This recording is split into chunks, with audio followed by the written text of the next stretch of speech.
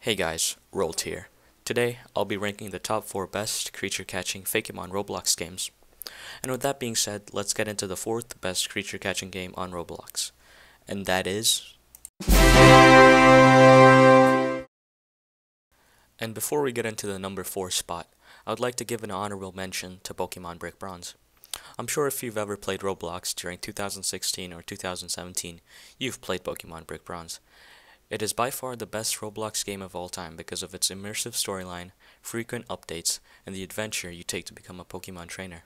It is a masterclass game which deserves its throne.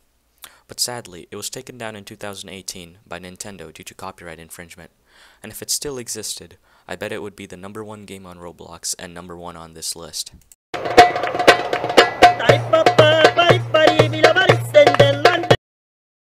Number 4, Kinealite Kingdom. There isn't much about this game since it is in early access and has been out for less than a year. The game hasn't got much traction even though one of its main developers and advertisers of the game is It's Sora, a popular YouTuber in the Roblox Fakemon genre, and understandably the game doesn't receive many updates due to the lack of a player base. The game has no distinguishable features or anything to make it stick out. If I was a developer, I would implement a better story to the game and make progression fun and rewarding instead of the bland quest to quest style of the game. Number 3 Tales of Tanorio. Yes, I know the game hasn't released yet, but I think with the leaks and teasers given, it is safe to say that this game deserves a spot in the ranking. Tales of Tanorio is looking to dethrone the heavy hitters of the Fakemon genre and take reign over the creature catching genre when it releases. We have gotten a lot of teasers and leaks, but no insight on the gameplay slash replayability features. The game has a large developer team, including Lucky HD, a very popular member of the Fakemon Roblox committee. The game's future is bright, and I have no doubt that this game will blow past its competitors.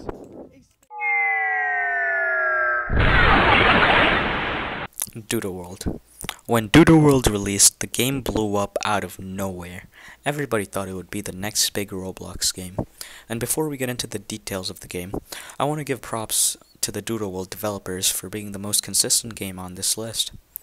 The game has many special features and an interesting and funny storyline.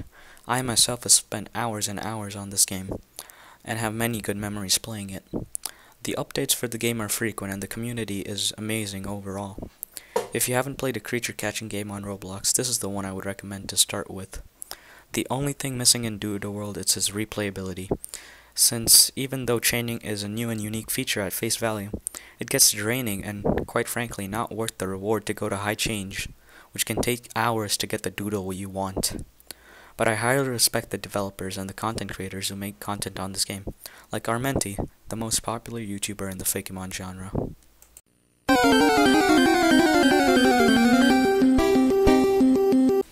Number 1. Loomian Legacy. I know this will be controversial, but in my opinion, Loomian Legacy is the best creature catching game on Roblox.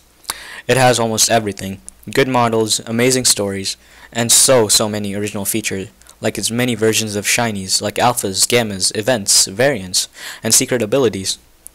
Or the arcade, the UMV, and their immersive battle theaters, aka gyms.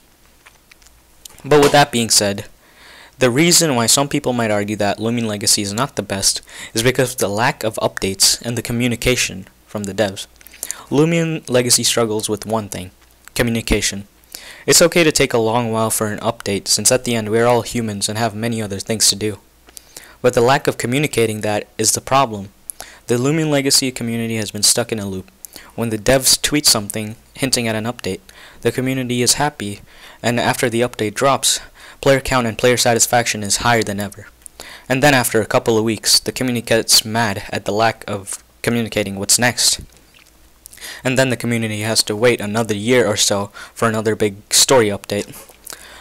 But with that being said, Loomian Legacy has given me a lot of great memories, whether it be nostalgia or just plain happy moments. The overwhelming frustration sometimes blinds us from enjoying the updates. If I had to give any advice to the Loomian Legacy developers, I would tell them to talk to the people who play your game. Simple as that. Doesn't mean they have to leak something each time they communicate. Something simple as, development is going smooth, expect to see some teasers soon. every once in a while could change someone everyone's perspective on the developers and maybe even boost their confidence in the devs for upcoming updates. Hey guys, I'm Silencer Roblox, Rolt's editor.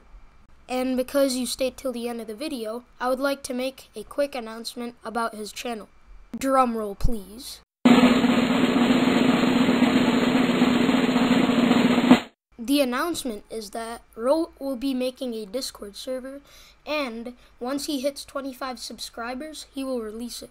So if you want to talk, hang out, or play with him, or me, or both of us, make sure to subscribe and notify your friends so he can hit 25 subscribers faster.